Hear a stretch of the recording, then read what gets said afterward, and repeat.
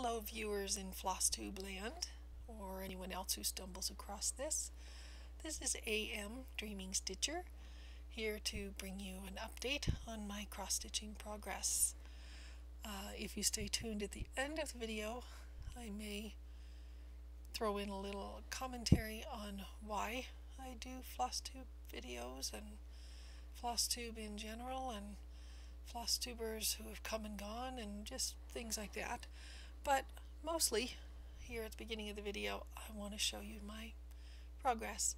I have three finishes. Don't get excited, they're really small. And four other works in progress, one of which actually is a new start, as were some of my finishes. So if you stay tuned, I can show you all of those things. And I hope that you enjoy seeing what there is to see.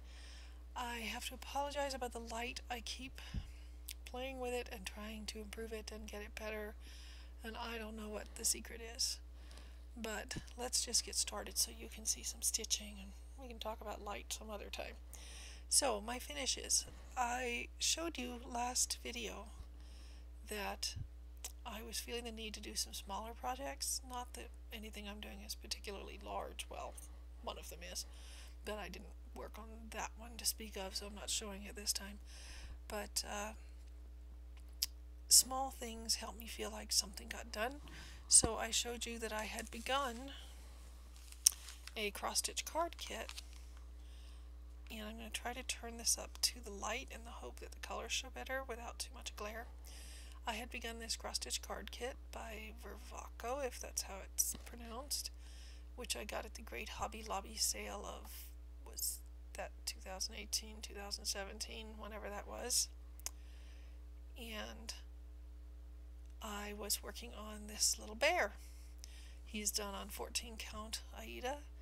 Uh, he is a kit, so everything's provided with it. I have no idea what floss they use. He's stitched with 10 different colors.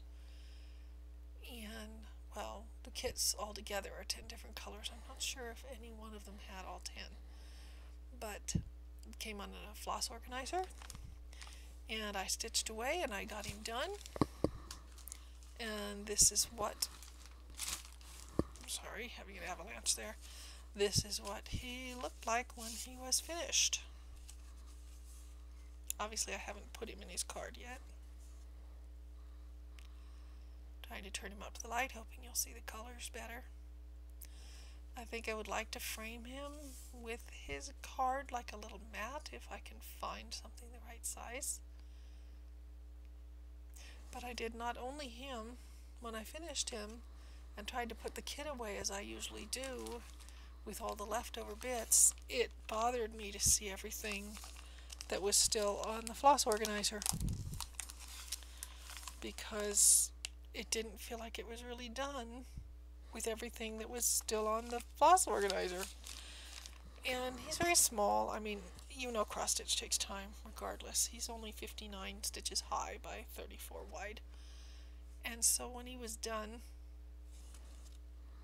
I felt obliged to do the other two. So my three finishes are actually the other stitchings in this card kit. Now, for some reason I do not know, I felt obliged to tell myself a little story when I was stitching him. I gave him a name. I don't usually name my projects. I don't know what was going through my head. But I called this fellow Little Bear. Real imaginative, right? And this was Little Bear's formal portrait. And this was Little Bear's candid photo, snapped by someone when he was playing hide and seek. Uh, everything was full crosses except at the bottom of this teepee. Uh, actually, it was full crosses too, but it was done with one stitch. Uh, stitch. One strand of floss at the bottom of the teepee to make it look a little more like grass. And the uh, straight stitches and things like his face were also one strand. Everything else was two strands on 14 count Aida, full crosses. And that is Little Bear and his various portraits. My three finishes. Not fully finished, obviously, but three finishes. And they took, you know, about as much time as cross stitch takes, but they were small. So it didn't take horribly long. I think the littlest one was uh, 51 high by 39 wide. Okay, after I did those little Vervaco things, which by the way I stitched in hand because they're so small, there's no point in doing much else with them. I moved on to one of my earlier projects that you have seen. That was the carousel lion I picked up on eBay from Bernat. Copyright 1988. There, I could not find any copyright on the bear kit there, but the lion is 1988. The lion, see if can get you see him without nothing but glare. Want his colors to show. Has a stitch count of 176 wide by 134 high. He has on 14 count Aida. He has 20 colors in him.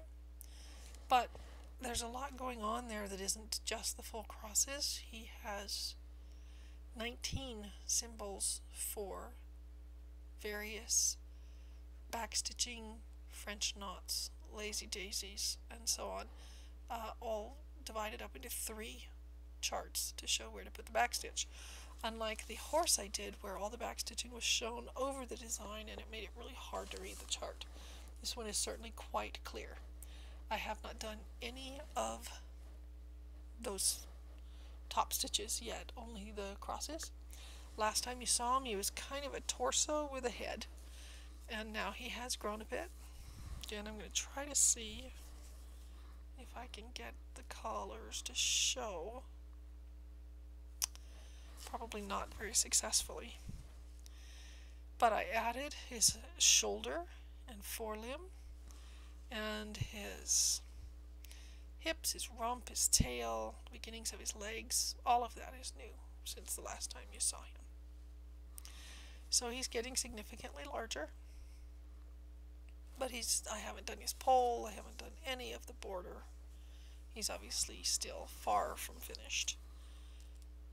But he's grown. He's looking lionly and I work him in a hoop. I think I've shown you that before most likely. A wooden hoop. And his threads are separated into bags with little pieces of paper to show me the symbol and the color number and all that good stuff. So that is my Bernat Carousel Lion. Some of the uh, top stitching, for example, but most of it, I guess, is going to be in the borders, but perhaps you can tell, for example, on uh, on the back here, there's a lot of red French knots stitched over that blue, for example. And there's different colors of back stitching depending on what they're outlining. They're straight stitching up his pole. There's a lot of things going on with him. We'll see when that all gets put in. So, I stitch fairly monogamously until I sort of run out of steam on a project and then I move to something else. And so after the lion, I turned to something I showed you briefly last time, which was my simplified, they call it, Orenco chart. Simplified because it has only 30 colors. This is no heaven and earth design here. It is the White Rabbit from Alice's Adventures in Wonderland. It will be, or is, 168 stitches by 112 stitches. I'm giving the stitch count in part because a lot of people will say how many pages something is, and I don't know that there's any standard set size for a cross stitch pattern page.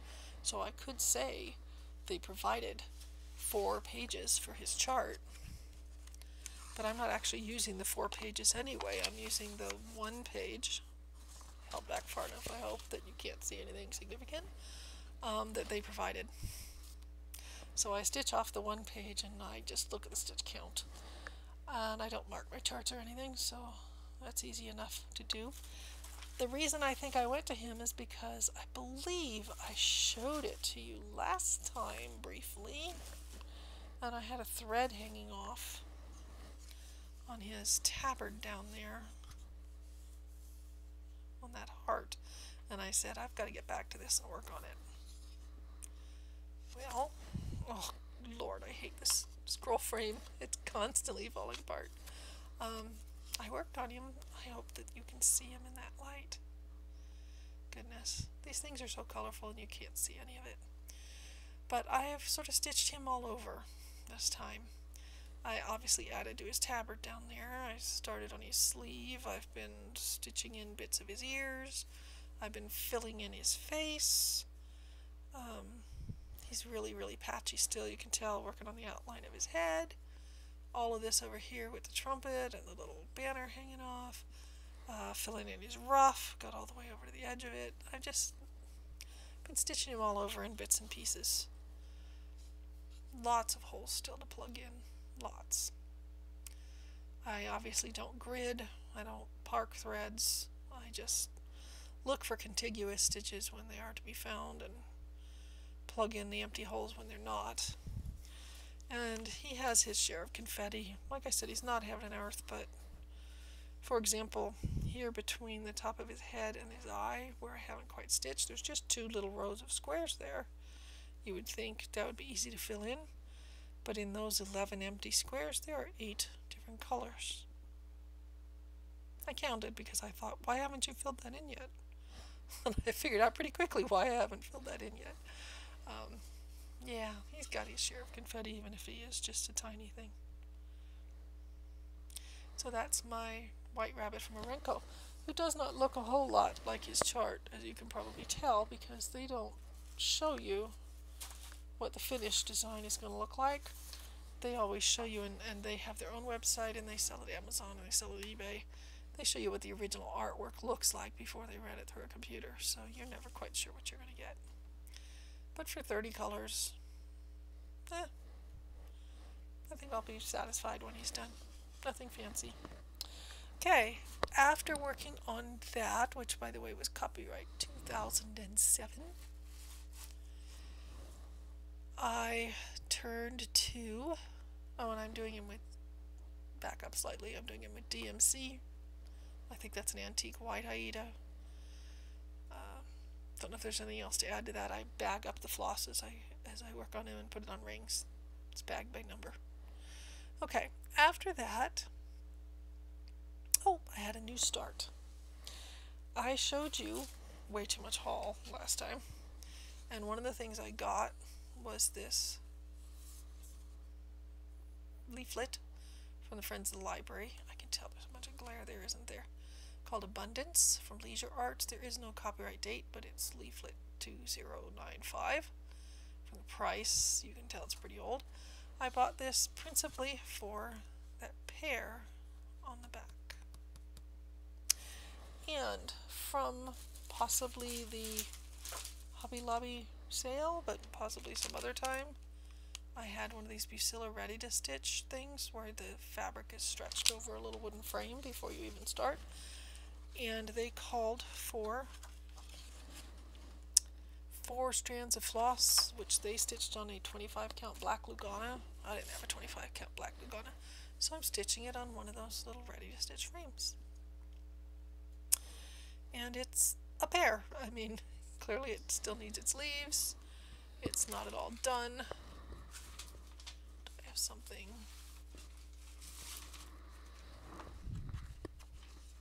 No, that's not blank. Oh, that's whitish. I can put behind it so you can see it a little better. A pear. That pear, by the way, has 17 different color symbols in it. It has a pretty small stitch count. It's about 31 wide by 36 high. But 17 different color symbols. I keep saying color symbols because three of them are blends. But there's 17 in all. That's a lot for a pretty small thing, considering there were only 10 in my bears and 30 in that whole white rabbit. This has got half as many colors as a rabbit, and it's just a pear. Anyway, that's my new start. Clearly it's likely to be my next finish. And it's tiny, so that won't take very long. The other thing I worked on, besides the ones I have shown you, was my... Oh, I'm sorry, I meant to... It's going to sound like it's all over the place. I meant to be uh, more considerate about naming designers and such because they are so important. And so I wanted to point out that the designs in this chart are by Sandy Lynam Clough and the needlework adaptation is by a lady named Lorraine Birmingham. Okay. I then went to my Japanese koi, my Monarch Horizons kit. Another eBay purchase. Get it where there's not too much glare, but then I can't really get the light. It has a number, looks like CS93. It's copyright 1989. The total stitch count when done will be 168 wide by 112 high, which happens to be the exact landscape version of the White Rabbit. He's the same stitch count as these guys, except of course the White Rabbit is full coverage and the fish are not. So it's possible that you're going to see a title that says something about reading comprehension because I need to work on my reading comprehension. I told you before of my fish that the coverage was a little iffy. The fabric was, you know, stiff and not very likable. You can see all the hoop marks. I'm working it in.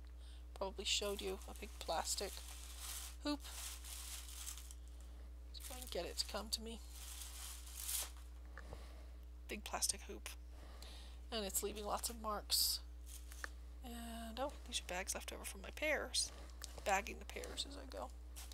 The fish were already bagged for me when I purchased them from eBay, and I'd have no idea what kind of floss they're made with. Okay, but I was thinking that the coverage was kind of spotty, that you can see through to the white fabric on lots of the colors, like on the oranges and reds, especially on the blacks. I had four of the fish done when last you saw it, and I have added this fish down here, this red and black one, and I had a little bit of this one's head, but I've added to that since last you saw it. I still have to do this great big fellow that's coming in from the side, and the one at the top where I miscounted, where I'm kind of waiting to see if I'll have floss left over. So, reading comprehension. This is uh, I like to share with you because you can understand things and you understand my embarrassment when I find out I was stitching along and stitching along and wondering why I had so much black floss. I mean, I've got five out of eight fish done. Yes, they need to be backstitched. But I have so much black floss left. So much. Why? I kept wondering and wondering and wondering. And having set it aside for a while to work on my lions and rabbits and bears and things. I wanted to double check the number of strands of floss I was supposed to use. The lion, by the way, is done with three strands, pair with four. This I've been doing with two. Because I was pretty sure the chart said do it with two. So I checked and was happy to confirm when I picked it up again that in fact it says Use two ply for cross stitching all colors except except the black which will require three ply for adequate coverage. Oh. Oh. Oh, that's why I have so much black left. So, I am not going to restitch all that. Uh, like I said, it's patchy under the reds and oranges too. I'm just going to leave it that way. It's just going to be a really patchy sort of a koi portrait. I need to learn to read. So this is done entirely with two strands over each square of 14 count Aida. And had I known what I was doing, paid more attention, the black at least would have looked better. But that's my koi. So that's what I've been stitching on this month. Oh, look at that, my hair escaped. Um, not a lot. There's never a lot. I am just not a quick stitcher. I will visit you again when I have another finish, which will probably be that pair. Well, I can't say when.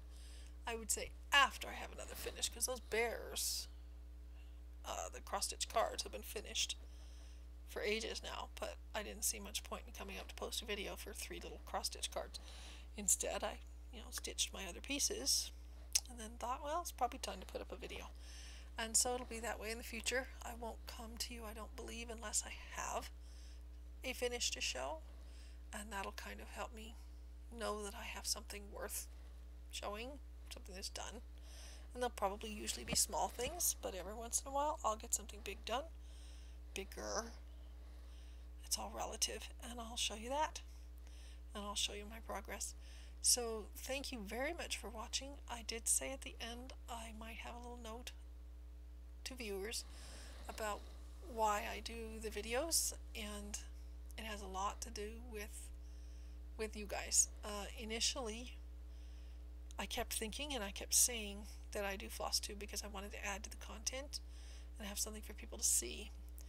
But really, I, I obviously don't offer that much. I don't have a whole lot of subscribers. Uh, my first video had plenty of views, but my more recent ones don't get a lot of views. I don't know if people don't like my head being cut off or my fat hairy arms or uh, the stitching I choose to do or my people are always apologizing for their nails and I don't apologize but yeah mine are a wreck. Um, I don't look at you. I, I don't know there's a million reasons. Maybe I'm just not entertaining enough but I do have some viewers. So I can't say that I'm doing this to add the content because you have so many other choices for content. And I can't say that I'm showing up because, well, I said I would. I mean, there are plenty of floss tubers who have come and gone. When I started watching floss tubes, it was right about the time that Carolyn Mazio stopped posting videos, and she was amazing. Um, there have been plenty of floss tubers who have come and gone, and I don't know if they're coming back. One of the ones I mentioned in my probably first or second video was someone named, I think it was Crafty X Stitcher and I really liked her stuff and she marked all her videos private and is not to be seen anymore. Some go not of their own will, like Sunroom Stitcher, who got banned by YouTube for who knows why. Um, some disappear and come back by their own choice, like she's Grafton. She took all her videos down and then she started again, although I'm sad to say she's not done one since March, I don't think. Um, Stitchy Ryan, I think he just got too busy in life, stopped posting. Some maybe weren't happy with the response they were getting, or maybe stopped stitching. I don't know what, but for example, South Africa Stitcher, I liked hers. SA Stitcher, I think she called herself, but she's not there now. Sporty Stitcher hasn't put one up for a while. I mean, some of the people are few and far between. So I can't say, oh, well, I have this obligation to film when plenty of others have posted and gone away again. So why then, if it's not for content, when you have, for example, more than 375 floss tubers in the list that Stitching Jules put up alone, and I know she hasn't hit them all by a long shot, um, why would you pick my content over anybody else's? Well, you probably wouldn't, but some of you do. Why am I here then? Because the real world around me in my actual, not virtual video life doesn't contain a lot of people who understand cross stitch. I don't know anyone that I'm aware of personally who cross stitches. I have a friend who used to. I don't know the last time she picked up a tapestry needle. Um, I know she was clearing out a lot of her kits some time ago that she figured she would never stitch and she doesn't have anything like my sable. Um, oh, speaking of which, I did have a viewer who said she would like to see my collections, so you may see some videos popping up just to show stash. I will try to label those clearly if you're not interested. Um, but with nobody in the real world to look at what I have, my sister has looked and she's been mildly interested. She made some comments on the ones on my wall. She's done some needlepoint herself, but not for a long time. She was mostly noticing things like, well, some of them cover all of the fabric. I said, yes, that's called full coverage. And some of them don't, and some of them look teeny tiny. And I said, that's the stitch count. I mean, the the fabric count. And some of them don't. Um, she really likes the tartan strip I did for my clan badge piece uh, because she says it looks like real tartan. And I said, well, of course it looks like real tartan. I patterned it right off the real tartan. Um, but it, she doesn't truly understand cross stitch. I don't know anyone that does. So what does floss tube do for me? It lets me show what I've done whether it's a silly little bear card or a full coverage rabbit who doesn't come anywhere close to as complicated as full coverage can get, or some pretty fish or a little pear or whatever. It lets me show it to someone who I know, even if I never meet you in real life, and odds are I never will, can at least appreciate what I'm doing. Someone else who's enthusiastic about cross stitch. Who, when I say the four strands that I have to pull through this fabric get all frizzed as I go because it's a tight fit, they'll they'll be able to say, "Been there, done that. I know what you're talking about." Um, when I talk about any of it, just showing it to you. If you view it I at least know you're interested in cross stitch. Someone out there is interested in what I'm doing. Maybe not what I personally am doing, but in cross stitch. It makes me feel less isolated, less alone. Um, makes me have someone that I can share my stuff with because honestly, in the real world, I don't have anyone. I used to have my parents, but if you've watched any number of my videos, you know they're both gone now. Parents are the people in the world that if you are so fortunate, will encourage you and praise you for every little thing you do. Um, I mean, they tell you your faults and flaws too, but they're there to be supportive. They always sound like they love it. And when you don't have them anymore, you sort of lose that built in audience of enthusiasm.